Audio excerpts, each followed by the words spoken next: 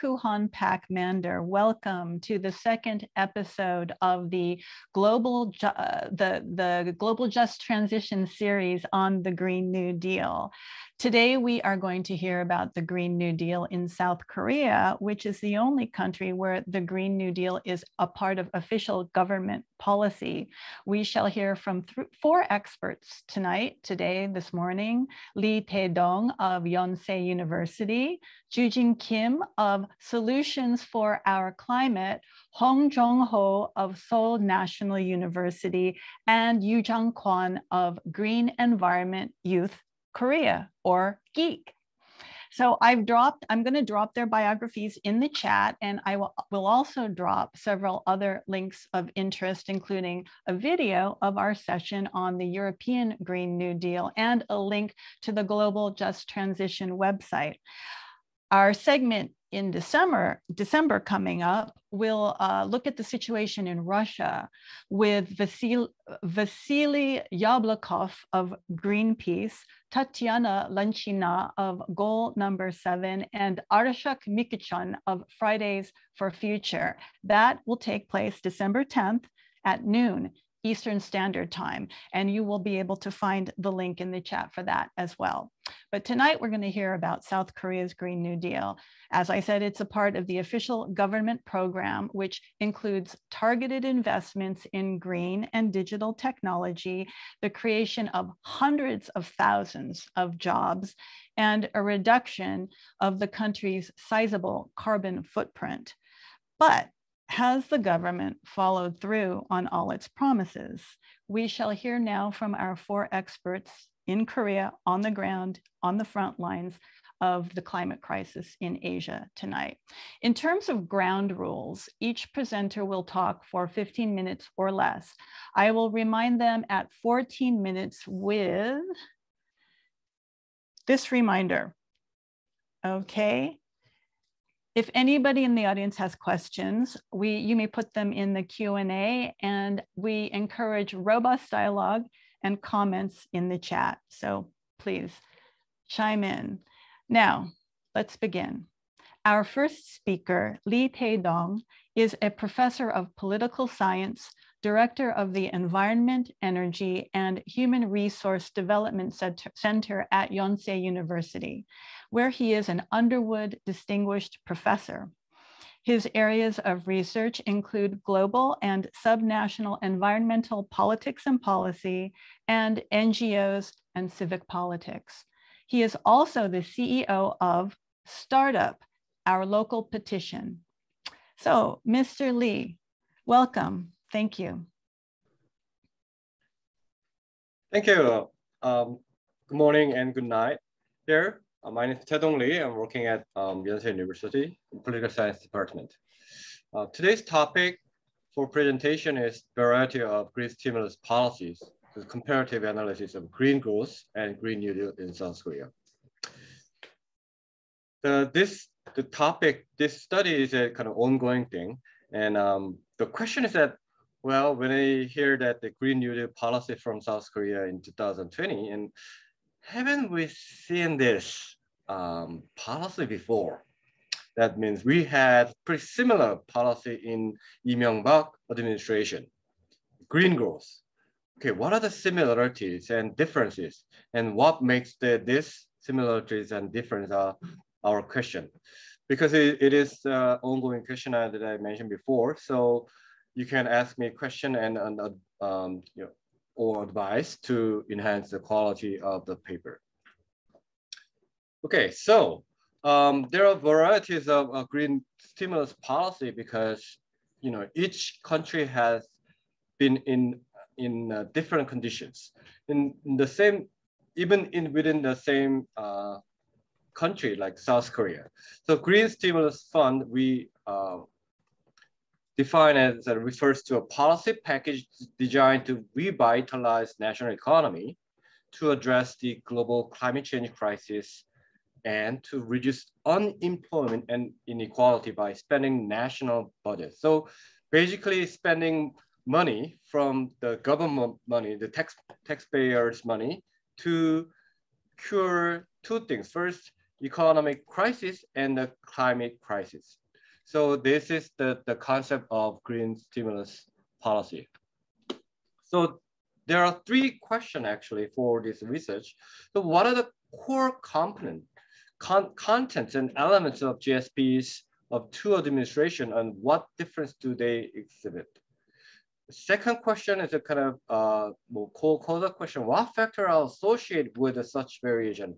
Uh, we are uh, interviewing people to explain that this, uh, answer this question. The third question is that, you know, we should learn lesson from the, the, our experience. What lesson can we draw from the analysis so that they help the successful implementation of GSP in Korea, and probably it can be applied to uh, another uh, places in the, the world. Because I already had a comparative study between the EU Green Deal and um, US Green New Deal in the, the document or plan level. So I think that I try to extend my research to compare the Korean case. So uh, the green stimulus policy is a a bit of the theoretical background, there's a the argument we can have a whether uh, economic development and environmental purpose can be reconciled or not. So one of my uh, current research tried to look at the decoupling in EU. Uh, some EU country achieve decoupling that, you know, uh, between the economic growth and uh, uh, greenhouse gas emission. That means many assume that if a country achieve the economic growth, that means we may have more greenhouse gas emission. That's the coupling. However, we found that uh, some of you European countries can achieve decoupling between economic growth and greenhouse gas emission, which means uh, uh, even though the, the uh, country achieved economic growth, but reduce greenhouse gas emission, those country implement and actively engage in the emission trading systems are, are more likely to achieve decoupling. That's one of my research. So the how we look at the uh, interactions or, or, dynamics between eco economic development and environmental force is one of the key idea for the um, green stimulus policy. And also uh, there's a many similar terms such as green economy, green growth, green new deals, and ecological modernization theory, how we look at the relations between the uh, economic development and environmental force. However, uh, when you look at the uh, the literature, I found that the um, so some gaps. First gap, we found that the, the what are the components of green stimulus policies, and then uh, empirically, it's hard to find the um, comparison within a state about because there's not that many cases as uh, Koohan mentioned that you know officially adopt GSP as their national policy. Then uh, we try to uh, develop the um, analytic framework to compare the GSP. First, we try to, to understand the visions. So the categories and question is the, the framework to analyze the policies. First one is the vision. So which kind of policy goal does GSP seek to achieve? And then the other part are uh, policy contents such as climate change mitigation and adaptation, energy transition, green in infrastructure, infrastructure buildings and green industry, social equity, and global cooperation. Each uh, category has, uh, has two questions such as, does GPS set climate mitigation goals, the numeric target and implementation, implementation timeline. So we try to build up this uh, framework to compare basically two GPS in South Korea, and I, we can apply this framework to other GPS in other country. So uh, the green growth policy in 2008 and 2009, uh, the vision of green growth policy in Lee Myung-bak administration is a green competitiveness. So they wanted to make uh, the South Korea a seventh or fifth, that's the ranking in the world by 2002 to 2050 each. So the environmental state. So three stages are mitigation of climate change and energy independence and creating new engine for economic growth and improvement in quality of life and enhance international standing. So there are 10 policy directions and I cannot read you know, everything in this uh, paper. However, it covers most of the, um, the component of it that we uh, proposed before. So, and also we uh, see that the, there's a huge amount of expenditure for each categories. Compared to this, uh, Green New Deal policy, is this is the current one in, from uh, 2020. Uh, the vision is transition to a local low carbon economy. It, doesn't have a specific, you know, uh, numeric target, but it's more broad uh, the visions. So transition to the low carbon economy. And there are three focus area and projects. That's the green, green transition of infrastructure, low carbon and decentralization, uh, decentralized energy, innovation in green industry. So uh, this Green New Deal in South Korea propose a 42 42.7 trillion from the treasury and uh, job creation of uh, 659,000 by uh, green job by 2025. So, uh, so these are brief introduction of two policies. So we tried to compare these two GSP in South Korea. Then we found that the um, you know the Green New, the current Green New Deal didn't talk that much about the specific goal in uh, climate change mitigation and adaptation in in the first document, but it's, it's incorporated with the uh, the carbon neutrality later, but uh, at the beginning, I didn't mention that much of uh, climate change mitigation. The second, the one of the most uh, you know uh, visible difference between the two GSP, so how we make the uh, energy transition. In green growth in Myung-bak administration, administration emphasize on the uh, nuclear energy as a kind of measure to achieve the energy transition. However, in this current Green New Deal, it didn't mention about the uh, nuclear energy for uh, energy transition. And another interesting thing that I found is that, you know, uh, GSP in green growth emphasize on global cooperation. However, we do not see that much about the um, global cooperation in Green New Deal. Rather, uh, Green New Deal current Green New Deal policy focus more on uh, you know, having more domestic job creation and domestic investment. So uh, I you, you, feel free to ask questions and then provide uh, the comments about my uh, framework and uh, any uh, missing component.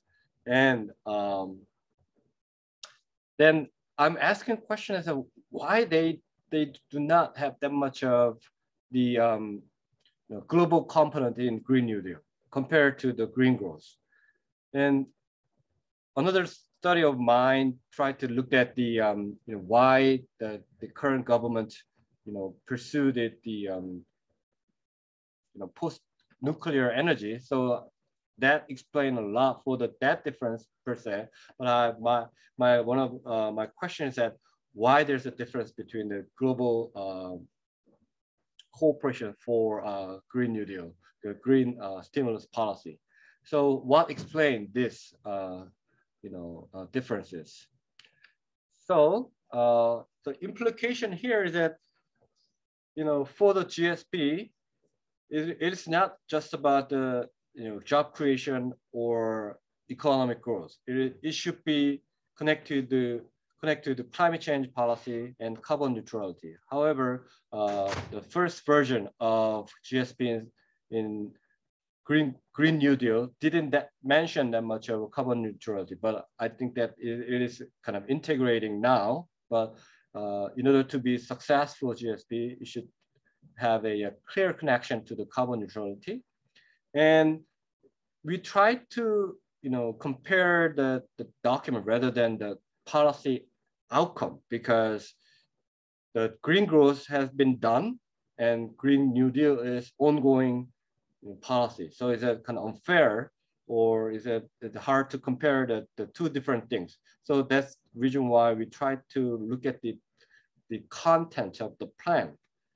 But one of the, uh, the big issue about the uh, green growth was they mentioned that they aim to create the jobs. However, there's no such a, you know, trace and measure and report how many jobs they actually create create from that policy. But we see that pretty similar. Uh, we, we do not want to see the pretty similar you know outcome outcome from the Green New Deal. They mentioned that they spend about you know huge amount of money and create uh, 660,000 uh, jobs.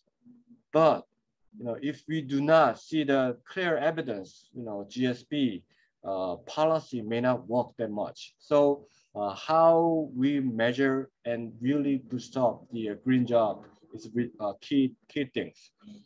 And another thing that I would like to say is that how we boost boosting the global cooperation green ODA, because the, one of the important way to achieve two, two goals, economic growth and the um, environmental cons conservation and climate change response is to, you know, uh, to be achieved by global cooperation and uh, how we uh, secure the budget for global cooperation or green ODA to other countries would be uh, one of the uh, key things that we should consider.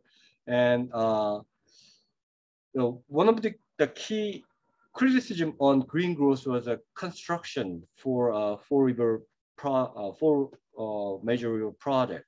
But you know, we uh, there's a lot of criticism on that. We spend a huge amount of money, but um, well, we do not see that much of the environmental uh, goods from from that uh, project.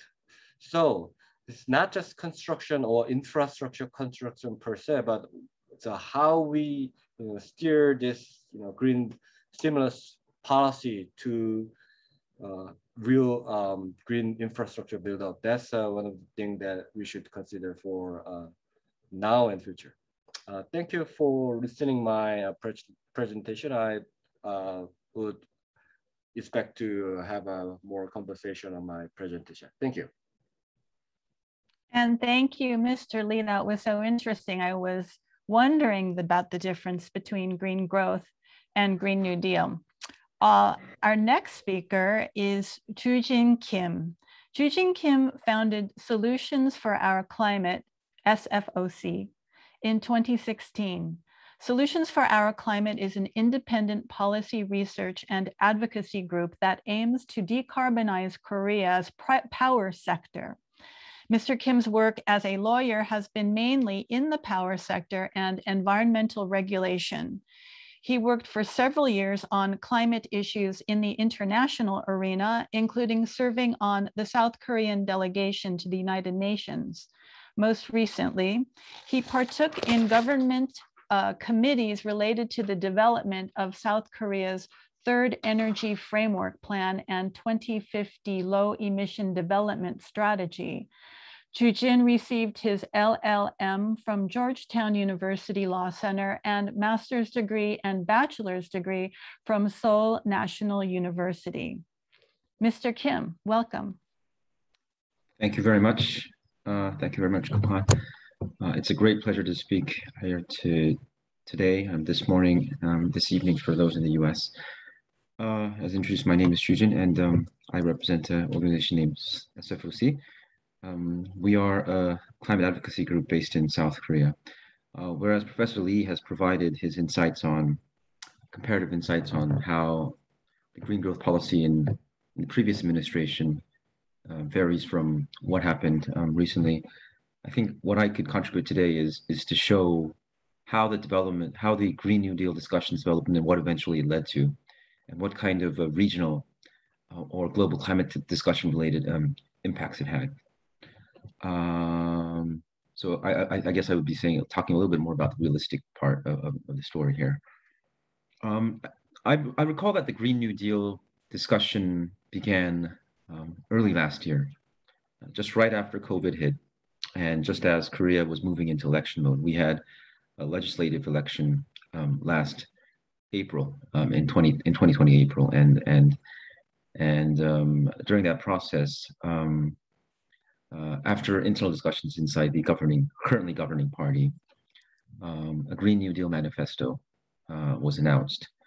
Uh, it's difficult to say what kind of dynamics and what kind of chemistry applied to that announcement, but uh, the key concepts of, of that Green New Deal manifesto back then was was to uh, was was was was to talk a little bit about carbon neutrality, uh, you know, continue social discussions on carbon neutrality by 2050 and promote uh, market mechanisms such as the RE100. So basically allowing more private renewable energy producers being able to uh, um, supply renewable energy to more supply to more uh, consumers, uh, and prohibiting coal finance uh, of uh, by public institutions. these still, I mean, the second, first, and third point eventually were achieved. um, during the Green New Deal process. And the second point here, which is mainly about reforming our power sector and, and the way it has not been helpful in renewable energy deployment, uh, hasn't yet uh, progressed that much, and it's still an ongoing problem. Um, so what happened after this? Uh, after this, after the manifesto was announced in April, um, the governing party, uh, due to its pretty good uh, um, COVID policies, um, did get a landslide win. Uh, they secured more than 60% of seats in the National Assembly in our legislature. And um, that led to discussions on what the New Deal should be. Um, COVID, we were in COVID. There was a lot of confidence for using stimulus back then. Uh, and in that process, I, I, believe at the beginning, Green New Deal was not included as one of the new uh, key concepts of the New Deal. But after a lot of internal discussions, um, some criticism, I mean, some expectations international expectations, especially those coming in from, for example, the United Nations. Um, our government announced, uh, uh, uh, eventually announced the Green New Deal in July 2020.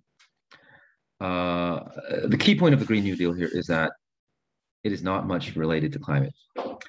Uh, Dr. Lee just mentioned uh, the figures. I mean, 73 trillion won, which is about 60 to 65 billion dollars depending on exchange rate. And with that money, um, the figure, the the uh, the emissions that will be reduced during that period is going to be about 12 million tons. About 12 million tons uh, by 2025. Uh, wait a. Sorry about the noise.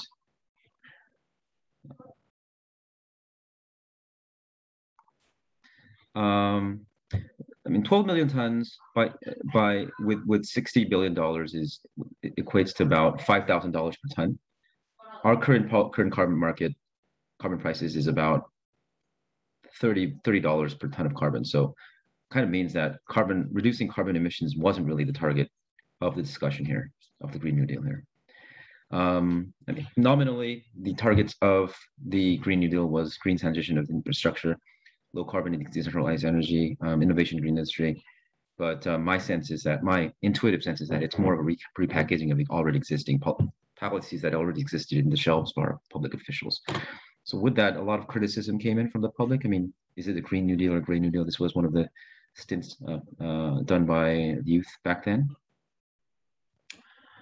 Um, but uh, the discussion with the Green New Deal and, and a lot of, you know, uh, um, public relation efforts uh, uh, relate to that. the focus kind of shifted. Um, back then, there was a lot of discussions about whether it's right or not for Korea to do um, overseas coal power project financing. Uh, Korea was one of the lead nations, along with Japan and China, uh, providing finance to to overseas coal power projects, uh, mainly in Southeast Asia. Um, these are the list of a lot of the projects that happened back then during the past 10 years and um, and, because of abundant financing by Korea, Japan, and China, uh, countries like Indonesia, Vietnam, Philippines were had a lot of coal power, new coal power plant projects um, in their future power projects, uh, future power plants, um, uh, which was uh, which was really restraining the global carbon budget. Um, so this was a problem. Um, eventually, coal. Eventually, I mean, the happy story is that uh, co-financing became history. Um, this is a summary of how that became history, a, little bit longer summary, but um, uh, as I mentioned, in 2020, um, there was a national debate over over pro- coal projects in Korea financed coal projects in Indonesia and Vietnam.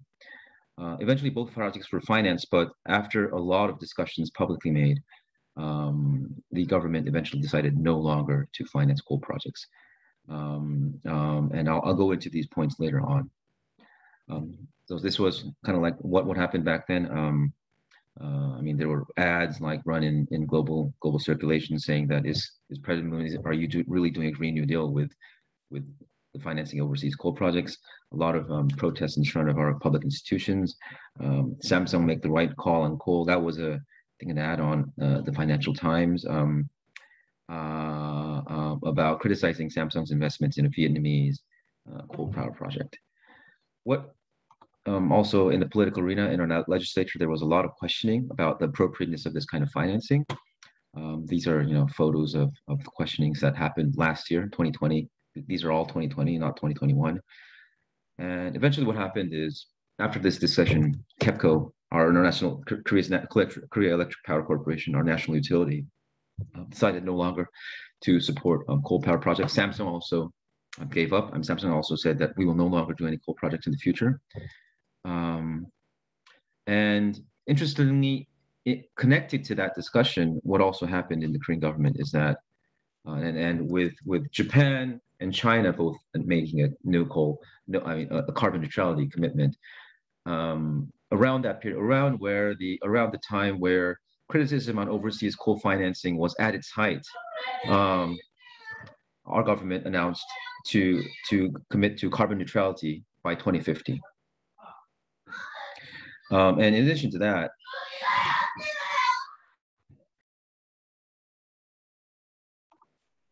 uh, in addition to that, um, uh, there was also a very, I mean, with with clear signals coming, I mean, kind of coming from the government that coal is kind of, and from the public that coal is kind of dying.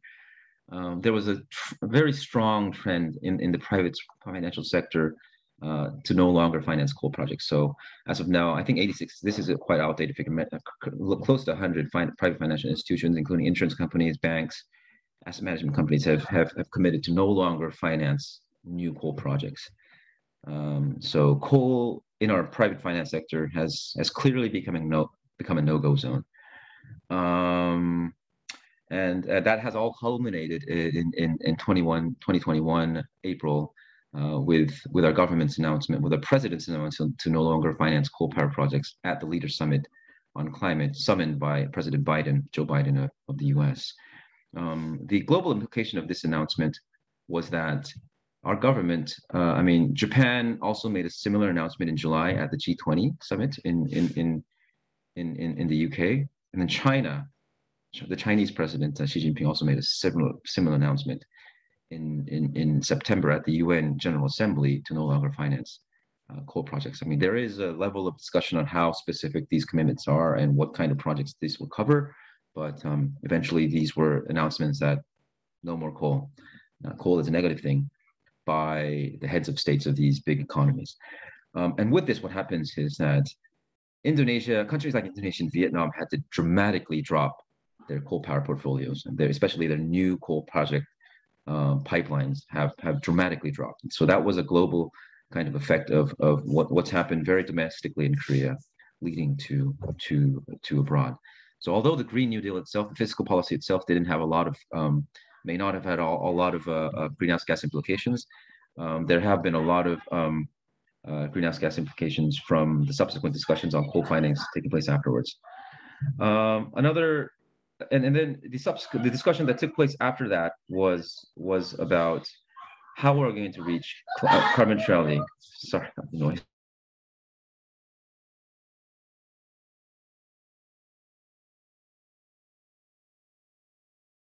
about carbon neutrality. Um, uh, we are, are, are, I mean, and, and, and with that comes in the COP26 Glasgow process, where countries were, were required to submit more ambitious NDCs. Um, it was easy for the government to say, we're going to be at zero by 2050, but where we're going to be in, in the near term in 2030 was a problem and um, um, and this was this is in, this has brought in a lot of discussions. Um, especially this this is related to a lot to how to reform our power sector, what the portfolio of coal power would be in our power sector by 2030, uh, um, and, and, and, what the role of gas and renewables would be in, in the future. Uh, eventually, what our government decided was to be at 40%. I mean, reduce 20, reduce 40% of our emissions compared to our 2018 emissions. So it is, it is, it is quite a, a steep cut um, by 2040. But um, there is, there, there are a lot of discussions about how integrate, how, how, how, how, how about the integrity of, of this commitment because uh, our government's 40% commitment does rely a lot on overseas offsets uh, and and uh, and carbon sinks uh, that that are not considered as the most environmentally integral uh, um, policies. Um, coal power appears to be the most contentious issue, as I mentioned, um, and and uh, and the atmosphere, social atmosphere of coal power has dramatically changed um, during the past five years. Uh, just five years ago, um, there was not that much discussion on whether coal power is the right thing to do. Uh, but and, and a lot of coal power plants have been commissioned, really increasing the future emission portfolio of the government. Um, but with with com efforts coming up from especially subnational governments, uh, um, coal power has the social license of coal power has dramatically um, changed, and uh, um, and and uh, uh, coal, discussions on coal phase that has taken place. Uh, for example, last year, the Ban Ki-moon led commission did announce that coal power should be phased out by 2040 or 2045. And um, and and this year at COP26, our government, our president officially said 2050.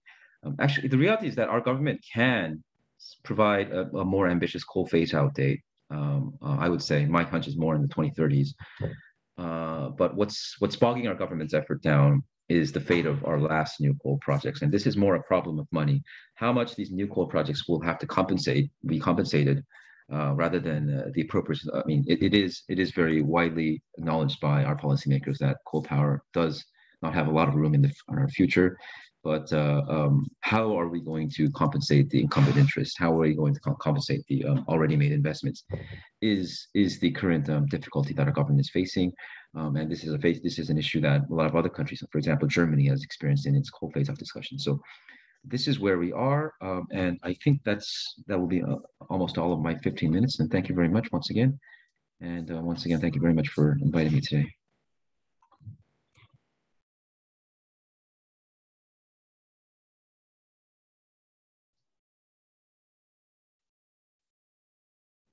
You're mute, you're mute. Unmute. Okay, great. Thank you, Mr. Kim. That sounds like Korea's two steps forward, three steps backwards, or is it three steps forwards, two steps backwards? Um, well, we'll see what happens. Thank you. Uh, our next speaker is Hong Jong-ho. He is a professor of economics and former dean of the Graduate School of Environmental Studies at Seoul National University. His teaching and research are focused on environmental and energy economics and sustainable economy and policy.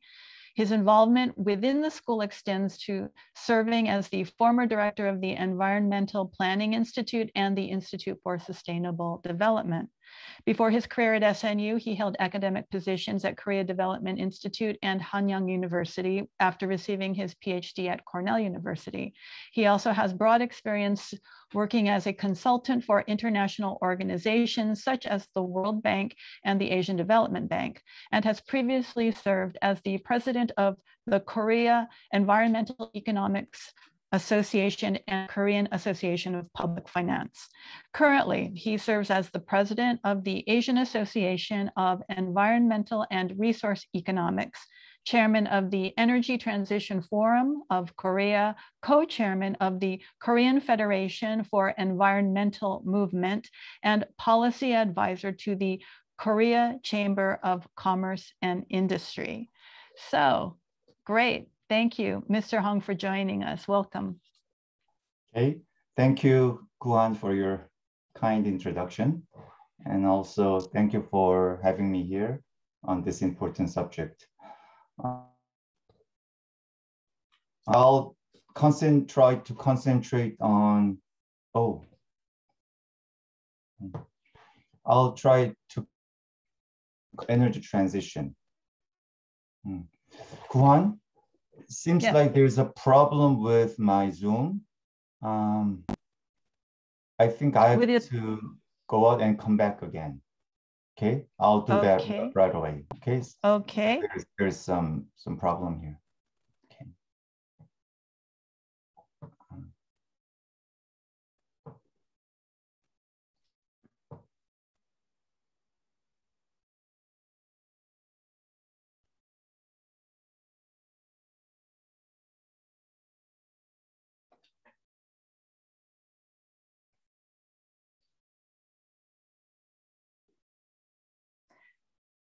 Actually, um, Mr. Hong, it I think it was fine.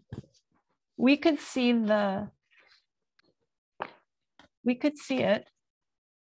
Maybe he left.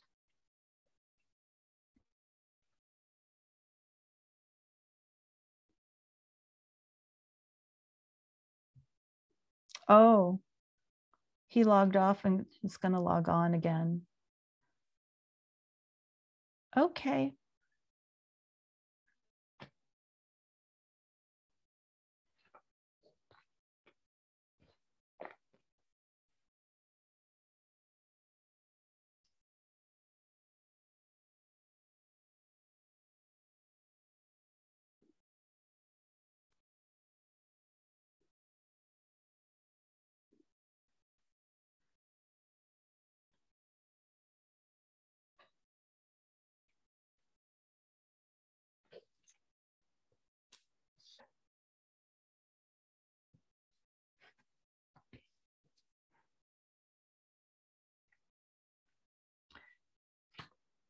Maybe why don't we move on to Yoo-Jung Kwon? Are you ready to go, Yoo-Jung? Sure, let me just share my. Let me uh, introduce you, if you don't mind. Tell the people Yeah. about you.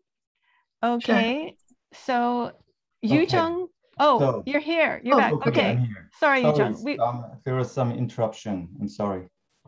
wait. Okay, um, so is it okay? You can see the slides? Yes, and you know, we could see the slides before as well. Yeah, but there was sudden message from the Zoom that the, the session will be interrupted abruptly. So, Oh, so okay, I don't know why, just some, some, some technical problem. But it's- right. Okay, so. Here we um, are. Okay, I'll concentrate on energy transition, uh, following what uh, Mr. Kim Joo-jin uh, already talked about. Okay, here, uh, let me show you a, a little nice picture. Uh, this is a, a group of mayors and, and provincial governors of Korea. Um, 20, 226 local governments in Korea have joined together to declare a climate emergency and call for a transition to a sustainable society. We have 229 uh, local autonomies, so virtually all the, the, the, the heads of these local governments join together, irrespective of, of political party and whether they are conservatives or, or moderates, liberals, progressives, they all gathered together and, and said, well, climate emergency is an is a critical issue in Korea. Well, but is this enough? That's the question I'm trying to raise. Um, they declared climate emergency, but whether they have strategies, policy measures to actually tackle uh, climate emergency um, is another matter. Okay, here's a little flyer I want to share with you. Well, this is uh, done by the Energy Transition Forum of, of Korea, which I'm representing.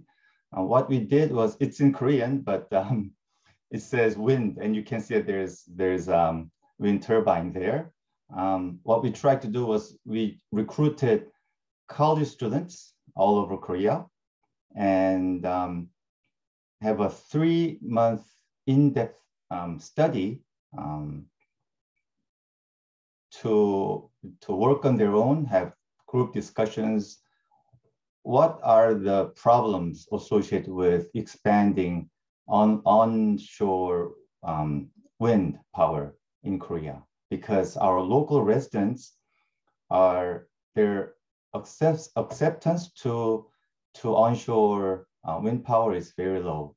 So what they did after their study, they went to these local residents, the countryside, they stayed there for a week, um, talked to the local residents, farmers, um, how they feel about onshore wind, uh, what, why, why you're not accepting this as an alternative energy source.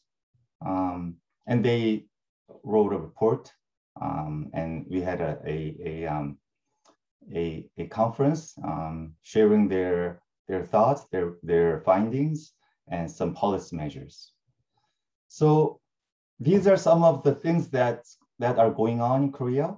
Um, the, the governments, local governments, the central government, as the other speakers have talked about, uh, they try to emphasize the importance of, of um, um, tackling climate change and, and carbon neutrality. And there are some um, movements among the experts, among the, the, the civil society groups, um, even some businesses uh, trying to, to, to cooperate and coordinate with, with, with, the, the, with the governments and local residents to, to enhance, to expand um, energy transition and expanding the, the uh, renewable energy sources. But the problem is it has not been easy. It has not been easy. It's a, it's a struggle all along. So here, this is part of the bylaw of Energy Transition Forum of Korea. And what is a key components of energy transition is understanding the importance of future generation and global environmental risk, enhancing energy efficiency and reducing energy consumption. Thirdly, developing and diffusing renewable energy sources through technological and policy innovation. Um, I would like to share the current status of, of energy market, energy uh, supply and demand of Korea for you to better understand the current status of, of, uh, of Korea in terms of, of where we are at in, in energy transition. Well, energy security, we're the ninth largest energy consumption country in the world. Um, on the other hand, we import virtually everything, every primary energy from outside. Well, we have the highest nuclear power plant density in the world. And we have, on the other hand, lowest renewable energy proportion among OECD, 38 OECD countries. Our PM2.5 concentration is highest among OECD countries and in addition to this, our energy price system, our energy market is so distorted. It's um, there is no country among, at least among OECD countries, where they have this type of, of um, electricity market and electricity price system. We are the seventh largest carbon emitter um, in 2019. And just about a month, two ago, our government um, um, announced that we, our NDC will be 40% reduction compared to 2018. Okay, does this all add up? Well, the problem is here, this is a share of renewables in electricity generation um, some of the countries. Well, the, the country names are in, in, Korean, but you can see which country is which, okay? because those upper uh, countries, like um, where the share of renewables is more than 70%, um, over 80% even there, Denmark and Austria, okay? Um, Germany and, and UK, they are close to 50%. OECD average is over 30%. Well, unfortunately, Korea is at the bottom, very bottom in green, okay? That's 7.2% renewable proportion in year 2020 last year. Okay, it's, it's, a, it's a very bottom. Even um, neighboring countries like, like um, Japan and, and China, their, their share is, is close or just over 20%. So we are well below compared to other countries here. Okay, here's a country by country, some of selected countries power generation mix, okay? Um, there, there are national flags there, that, so you can see which country is which. Um, these are some of the European countries, okay? Um, like France, they have, as we all know, they have um, much nuclear, but they do not have either coal or natural gas, okay? And um, Germany, well, they still have 24% of coal proportion, but they will be, you know, they have um, announced their plan, specific plan to, to decarbonize, the um, phase out of, of coal power plant.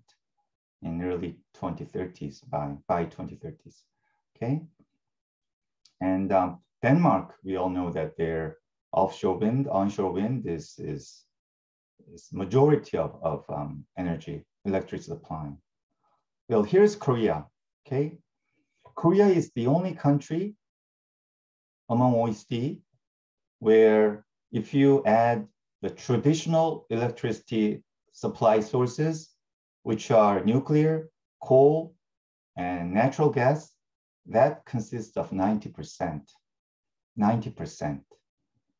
It's the only country where this traditional source of electric supply is just almost all of the electricity are coming from these three sources still.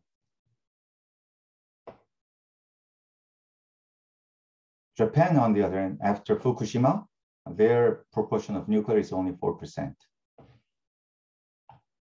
Okay, well, I have I worked on some study um, how much job creation we can have from energy transition. Okay, this is an extension of my paper, uh, a, a, recently published paper. And MTS stands for Moderate Transition Scenario, ATS Advanced, VTS Visionary. So this is how much we can achieve in terms of, of um, expanding renewables, okay? So VTS, the visionary means a country level renewable energy 100%. If you can achieve 100% renewable energy by 2050, the gross um, job creation by 2050 will be more than 500,000 from only from the, the energy sector and the renewable energy sector, okay? Well, for comparison, I'm trying to share how much uh, current um, employment we have in Korea from domestic car industry like Hyundai or Kia. That's including the direct and indirect employment, 490, all right? So this implies that if you can um, enhance, I mean, expand renewable energy sources, only within that sector, the energy sector, we can create a lot of jobs in the coming years, okay? Compared to coal or, or, renew, or nuclear, it is a well-known fact that the nuclear sector, I mean, the, the renewable sector can create much, much more jobs compared to traditional energy sources. Okay, why is this not so easy? Why is the struggle um, has been going on in the, in the recent years? Because I think there's a conflict of values embedded in energy transition, okay? Um, Koohan, we talked about it before you know, um, the session began. The older generation, including my parents, you know, they have endured all this, you know, prolonged poverty in the 60s, 50s, 60s, and their goal was the modern economic modernization of Korea. And they all know that fossil fuel and nuclear have been the driving source of energy to have a rapid economic growth in the 60s, 70s, and 80s. So they are so much well accustomed to this idea. And it's, it's, it's supply oriented with a centralized generation, such as coal and, and, and nuclear. On the other hand, uh, the re renewable sources, including wind and um, solar, they are very much different. They are basically distributed generation. It's um, and we also emphasize in energy transition the demand management, energy efficiency, you know, uh, reducing energy consumption. This is an idea which is very different from what our older generation have have been have have have, uh, have been accustomed to have have experienced. So whenever I talk to my parents, my father even scolded me. Your idea is wrong. how can solar, how can wind, that type of sources can generate enough electricity to power to continue our economic growth of Korea? That's absurd. that's what my, that that's the responses from from my father. Okay, um, this is my final slide. Well, there are challenges and opportunities. um, in terms of success toward energy transition. I believe as an economist, now Korean people are slowly uh, understanding the, the circular relationship among climate, economy, and employment. Even though it's slow, I think Korean um, people in general are, are understand, are trying to understand and getting fami familiarized with, well, there can be some virtuous cycle among climate policy and better economy and more employment. Okay. And as I, I showed you the, the, the picture in the first my first slide, there is there are rapid policy changes in central and local governments. I'm not saying it has been successful. They were strategic enough, but they are moving toward that direction. Okay. And um, there are some companies in Korea where there's innovation occurring in renewable energy technology. On the other hand, there are lots of challenges, okay? Um, for instance, nuclear and coal, it has been 40 to 50 years where these have been the main sources of, of energy supply. So there are industry-related stakeholders, including academics in the government, and they are very strong. Their lobbying power is very strong as well. So this has not been easy. And as I said, there is huge distortion in energy market and energy price. Our electricity price is totally controlled by the government, which cannot be sustainable in this world anymore. And we have our um, wholesale and the, the, the retail market of electricity is totally controlled by a monopolist company, which is KEPCO. And this is, you just cannot find this type of electricity market in any other country among OECD.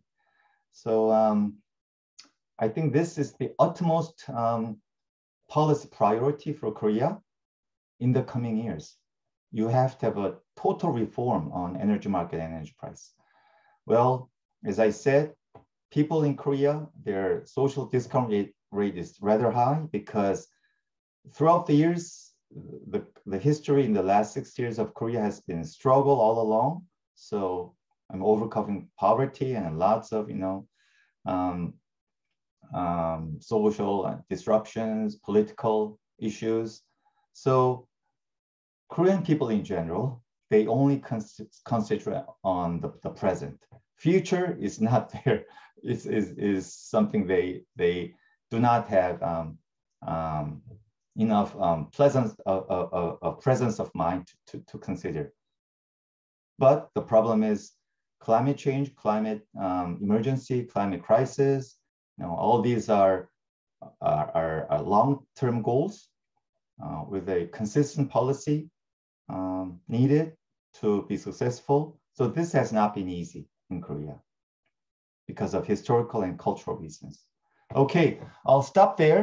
Sorry for the, the, the interruption, but um, I hope I gave you some insights on what's happening in Korea in terms of um, um, energy transition, struggle, and some success. Thank you. Thank you so much, Mr. Hong. It's uh, a lot of similarities to other countries in the world and a lot of unique uh, uh, characteristics in Korea. is very interesting. Um, our next speaker I'd like to welcome is Yoo-jung Kwon. She is a youth climate activist for Green Environment Youth Korea, also known as GEEK. Yoo-jung is currently a program assistant for the East Asian Australasian Flyway Partnership Secretariat. There, she advocates for climate justice and a just transition on the basis of intergenerational equity. So welcome, Yoo-jung. Hi, thank you. Thank you for the warm welcome. Uh, let me just share my screen first.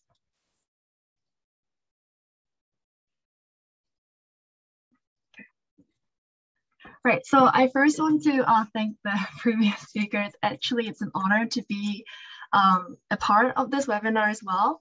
And um, as a youth climate activist, I kind of really want to share my perspective on how youth can really be a part of this um, transition, this energy transition, and how we're advocating for more uh, clean energy to expand the clean energy in South Korea and outside as well. So let me begin. Uh, just a really brief introduction of who we are. Um, you guys may have uh, heard of our organization or not, but we were established in 2014 and uh, GEEK as, um, as so GEEK is also known as Green Environment Youth Korea, and this is a youth-oriented organization. So we have over around 70 youth um, activists right now who are part of uh, GEEK, and our main vision as the uh, future generation is to ensure that worldwide, the global youth are at the forefront of the new climate regime for just transition and for climate justice. So these just transition and climate justice are the key words that are the key driver on why we do what we do. So the key activities that we play out in GEEK is we advocate for global cooperation as uh, climate change is a transboundary issue and it's an intergenerational issue. So we really ensure that we're not only advocating at a national level, but we're really kind of uh, ensuring that our voices are heard at the international field as well. And so we attend a conference of uh, youth, we attend the UNFCCC uh, conference of parties, and we also do some other relevant um, cooperation works with the Asian region as well, which I will share briefly in the next slides. And we also do an annual uh, event regarding the Power Shift Korea. So this is focused on divesting on uh, fossil fuels and really phasing out coal. And we also ensure that our demands are supported by policy. So we are part of the Seoul Policy Network and we advocate under the Climate Environment Division on some relevant policies that will really help ensure that our youth are also considered when we talk about these energy transition. Yeah, okay. Moving on. So um, as I mentioned, the Power Shift Korea is actually, this started in um, the United States from the 350 organization. And they made the Global Power Shift movement, which is a worldwide movement focusing to really shift the power axis from ensuring that the uh, youth and future generation have a voice in the decision-making process, and also to really ensure that the renewable energy is expanding at a level where we can reach carbon neutrality by 2050. Um, and so in the Asia region as well, this is quite active. Um, and the event itself is really hosted and sponsored by the 350 East Asia. So we, under 350 East Asia, we ensure that annually we really kind of drive this Power Shift Korea event to our local community as well. Because um, even like even in the local community, there is not a really shared understanding on the importance of why we have to drive away from uh, fossil fuels and dirty energy and more focused on expanding of renewable energy. So we try to really kind of narrow that um, gap of understanding. And so this is another kind of uh, activity, how relevant to the Power Shift Korea and how we kind of drive and drive the divestment movement. Um, on the left side, so this is the street painting that we did in Shincheon, which is a very highly populated street in South Korea. And we focus on artivism. So we focus to really kind of um, draw art and make that idea of phasing out coal more simple and more fresh and more lightning to the general public. So they wouldn't be kind of frightened about how heavy the topic is really is. When we talk about energy, it's a very complicated topic, but we really try to level that kind of barrier, but make it more fun and more flexible to the general public. And also on the right, this was held in 2017, which was a coal ending bicycle march. And so um, what the people did here was they rode their bicycle from Cheonan to Dangjin. So that's around 50 kilometers. And Dangjin is a city in, uh, in South Korea. And at that time, they were accountable of having the most biggest coal power plant in the world. And this was something that we really wanted to shed light on to ensure that this was not something to be proud of, but this was something to be ashamed of because uh, regarding the impact of what car, coal-fired power plants have to the community, to the environment, to our health, we really try to advocate uh, for this to the public as well. And so you can see our banner at the end, at the very on the right side, but yeah. Um, so, and the Asia Climate Leadership Camp is also a event that we hold annually with the other Asia youth organizations. And so um, we really focus to kind of synergize our uh, momentum in the Asia region because even if you go out into the international community, you don't really see a good exposure of uh, the Asian people. And even uh, going to the UNFCCC, uh, COP26, I really didn't get to hear much of the Asian voices. And I think that it's really, really important that we ensure that we have this kind of uh, momentum of cooperating with each other to kind of to ensure that our voices are heard. And so we hold this ACLC annually, and regarding the hosting country, we will be visiting their coal-fired power plants and to really understand the severity of the fossil fuel impacts in their local community as well. And then we really bring that um, message back home to really kind of uh, share with our local communities on the impact of the fossil fuels and how in our neighboring countries, what kind of effect it is bringing on in them too. And so that's kind of a annual event that we attend as well. And so because this topic is about Green New Deal, I want to kind of focus on how we've been uh, like kind of uh, actively focus on the Green New Deal, how we kind of focus on how we should, um, so what our, our perspectives are on the Green New Deal. And so first of all, we did a uh, K Green New Deal video lecture. So um, one of our members from Geek, she came out and she did a lecture on what is the K Green New Deal? What is this whole hype about? Because really when the Green New Deal was released, we consider it a milestone regarding the dialogue on carbon neutrality, climate change, and so we really ensured that our youth and our future generation had a clear understanding of why it was so important and why we needed to be very um, uh, active to ensure that it wasn't a gray New Deal, but it was a Green New Deal. And also, we also focused to kind of publicize what was going on in South Korea by uh, publishing an article and releasing it on the 350.org homepage. This would attract a wider audience to really engage with the worldwide on showing how South Korea is taking a forefront role on the Green New Deal, but to how to ensure that it is actually green. And we're actually focusing to building back better following the COVID-19. And on the very right, this was a press conference that was held uh, two months prior to the actual official release of the Green New Deal held in May. Um, and so we standing, we're standing in front of the president's office right now and we gathered with six other youth organizations in South Korea. And we were advocating that uh, for the government and for a president to ensure that the Green New Deal, when they release it, that it should be, as I continuously to mention, as green, and to really ensure that, uh, especially in the energy sector, that we really need to focus on phasing out coal by 2030. And so the press conference, if I translate it directly, is saying that uh, Green New Deal for a climate crisis and 2030 phase out coal. So that was the main message that we were trying to deliver.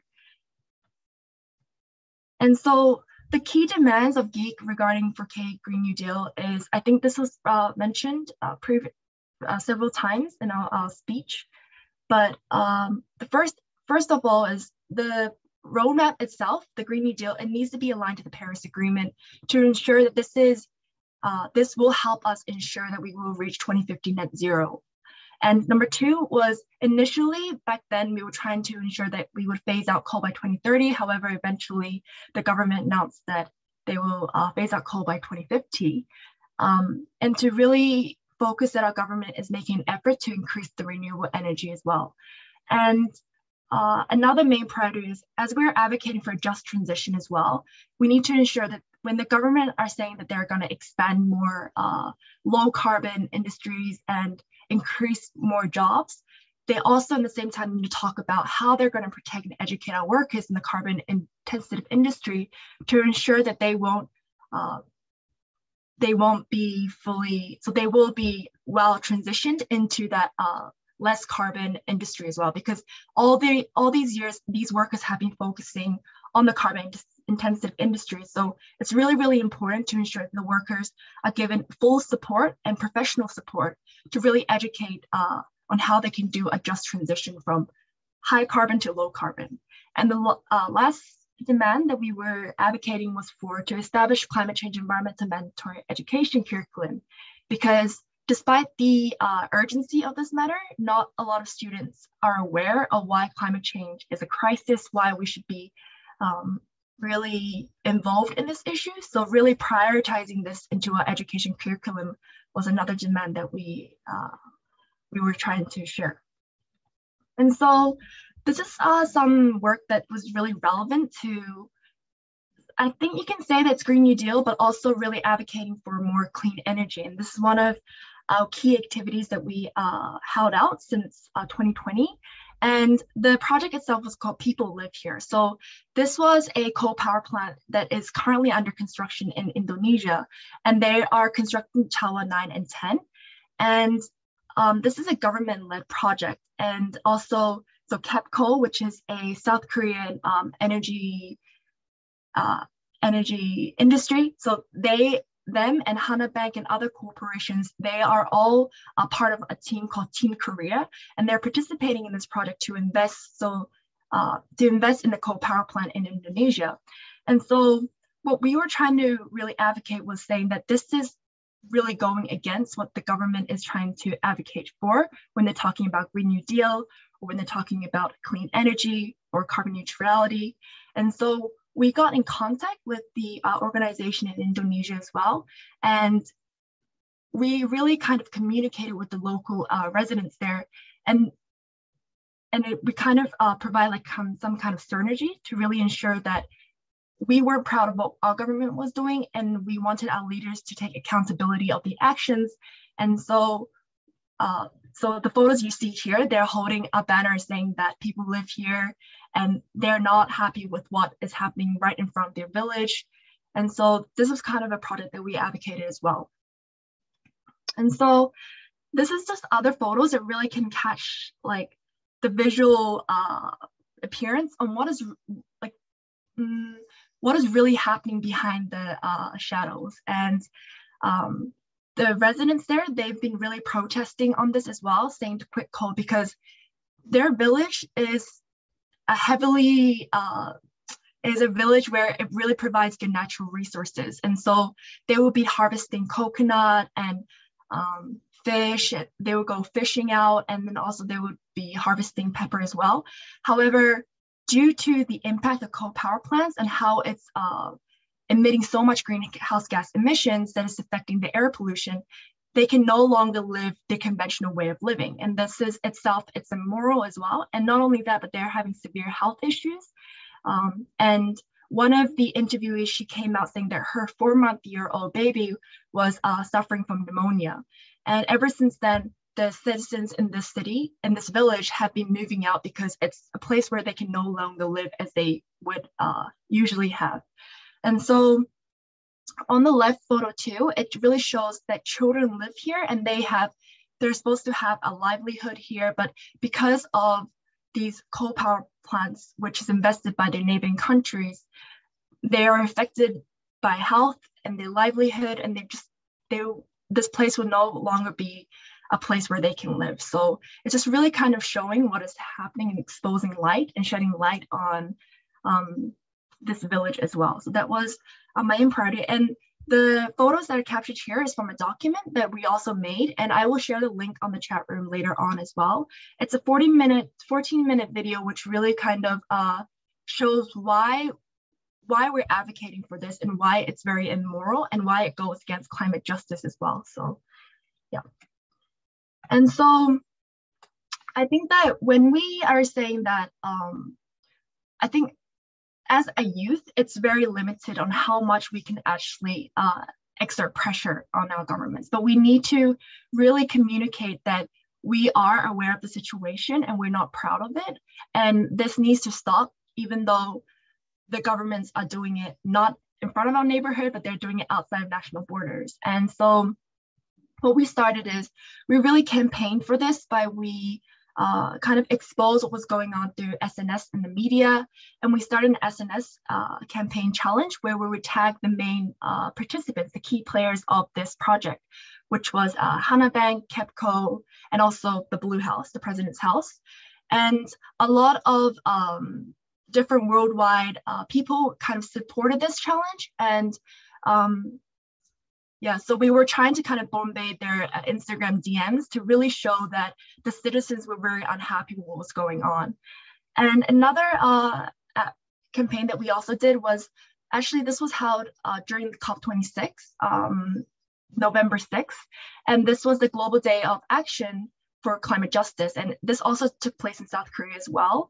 And one of our members in Geek, she came out and she kind of really uh, shared what was going on in Indonesia and what Geek was doing regarding this and how as citizens, we should be aware of what our governments were really investing in. And in the meantime, they're also using our tax money to invest in something that we are not willing to support. So that was uh, another kind of action that we made.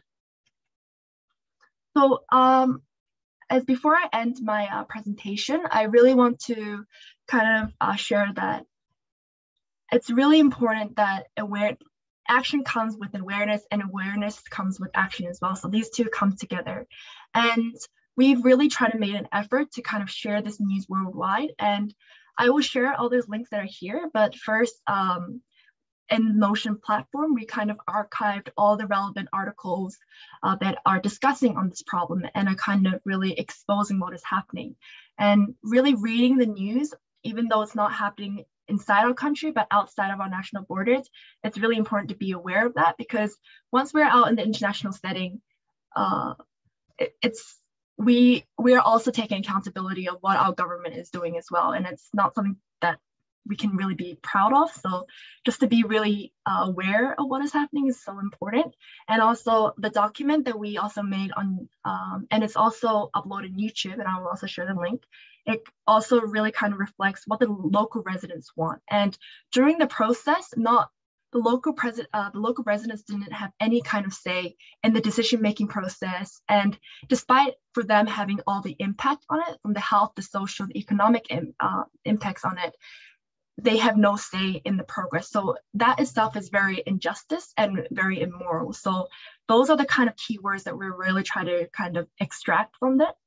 And the action part as well. So um, we did, we are holding a petition that should be uh, communicated to the uh, president. However, I also wanted to emphasize that uh, this is only at the beginning stage of the construction. So we still have time to kind of uh, turn the table around. And they're saying that the construction will go until 2025.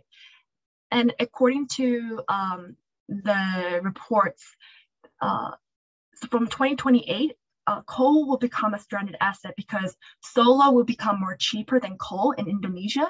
So even after they finish the construction in 2025, they will only have three years of actually seeing the economic benefits of the coal. And then after three years time uh, passes, it will become a stranded asset and because it's more expensive and it won't it will lose its competitiveness in the market.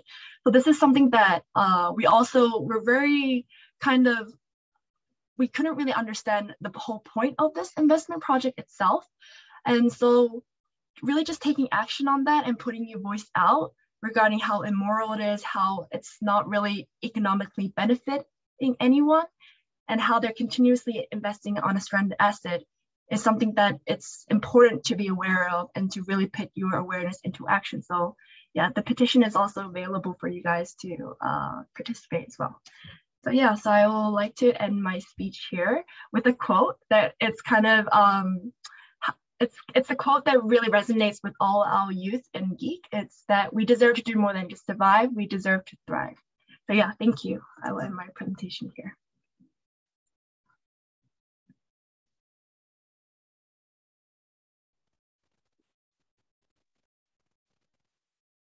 That was superb.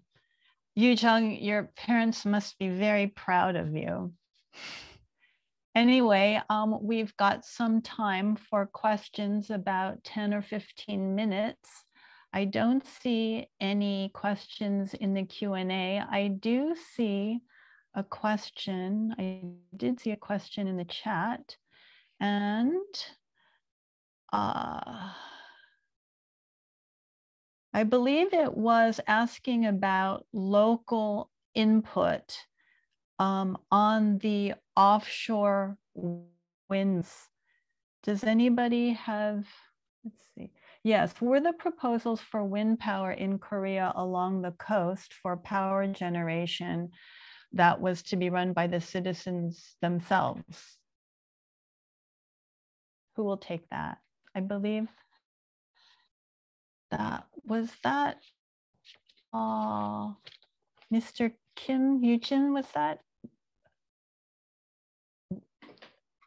Somebody mentioned. No, I think that came from um, uh, Professor Hong. um, Professor Hong. Well, I can yeah give my own um, opinion on that. Well, the the usually how it develops is um, onshore wind project first and then offshore because offshore it's more expensive. It's more large scale. Um, but in Korea, because the, the onshore wind projects are much stalled at this moment because of a lot of opposition from um, local residents and everything. So um, the government is, is these days trying to um, improve on, on expanding and implementing offshore wind projects. The problem here is um, just like onshore, the the local residents, the the the fisher the fisher industry, the fishermen, uh, they're against this idea because they believe that their uh, fishing productivity will will um, go down because of, of, of, of these projects. So it has been slow. And the problem is once um, the a, a, um, a developer or a company tries to have um, invest in an offshore wind project, it takes so much time um, to actually uh, start constructing the project because of so many regulations and the government all they do is is um, ask these these um, project developers and the private companies to negotiate with local residents. You you come up with um, this document showing that all the local residents agree with this idea. Okay, and it takes many many hours. Um, it takes a lot of money. I mean, there there's um, this is just struggle itself. So the project at this moment is is is um, going slow, but um, um, it, it is true still that the government is trying to focus on expanding offshore wind projects uh, because we are a peninsula. Uh, there are much resources in that area. So I hope um, this project can um, catch some momentum and and be uh, on time to to for our our um, our climate you know, policies and carbon neutrality um, goal. Great, thank you, Professor Hong. We have another question here that is questioning a recent article where President Moon calls the floating liquid natural gas facility a quote, big help to carbon neutrality. And it's an article in Korea Net. And there's a picture of President Moon on November 15th giving a congratulatory speech at the naming and maiden voyage ceremony for the Coral Sul floating liquefied natural gas plant, which is headed for Mozambique at Samsung Heavy Industries shipyard. Now, is this what's going on here? Any comments?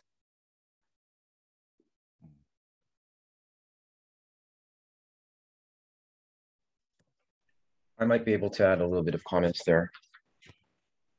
Um, yes, I saw that news as well. Um, our president was happy um, Oh, Mr. Kim, you are dropped out. Maybe if you could turn off your video camera. Or can you type in the chat or type in the Q&A? In the meantime, do any of the other three panelists have any sort of response to that question? so that we can fill this precious time up. Mm. Okay. I actually have a question and it, oh, did you want to say something, Professor Hong? No, I, okay. I'm actually not aware of that. Okay. I have a question, and that is um, I can't not think stop thinking about the um, ambitions of the government of, of the Republic of Korea for many years to expand its military export, its arms export industry, which is the opposite of green. How does the government or how do policymakers reconcile that um, discrepancy?